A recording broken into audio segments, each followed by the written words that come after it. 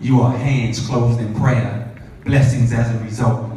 Still, you could be the downfalls, the valleys, the negative situations, and the contemplations, but you are my poem. So I will not only write you down, but rather place you up upon a canvas displaying your true colors. Each glance is another choice selection of words depending on the particular mood. You cannot be placed within normal tenses, not why you silently attract all of my senses. You are slow songs, phone calls, and random daydreams that run over in the nighttime. You are without a doubt, interestingly, undefined.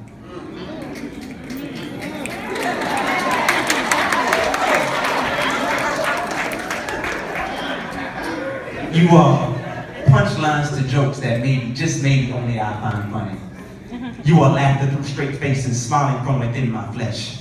You are a thousand words within a frame sitting next to one, revealing 30 or more years of first anniversaries. Carrying that much significance comes without fatigue, but you are my poem. Like candles yearning to be lit so that aromas of tranquility will walk across rooms, soothing and consoling in my absence. Do not feel uneasy now, nor out of place. But you cannot just exist in one realm, but rather balance yourself upon borders like the four corners, so you can enter one or many at your own will.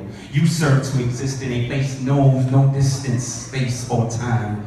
You are, have been, and probably will forever be love and the Father. Yes,